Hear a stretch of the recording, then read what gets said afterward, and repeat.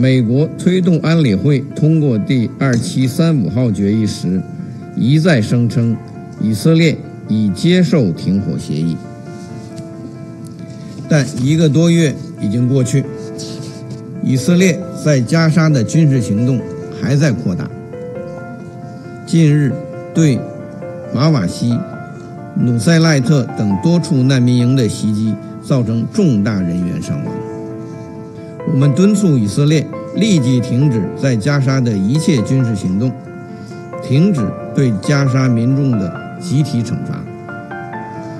有重要影响的国家要切实做出真诚、负责任的努力，推动当事方拿出政治意愿，落实安理会相关决议。落实两国方案是解决中东问题的唯一可行出路。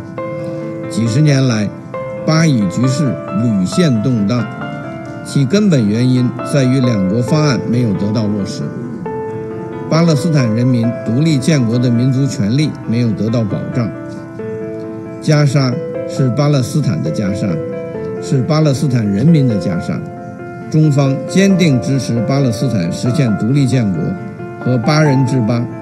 倡议召开更大规模、更具权威、更有实效的国际和平会议，制定落实两国方案的具体时间表和路线图。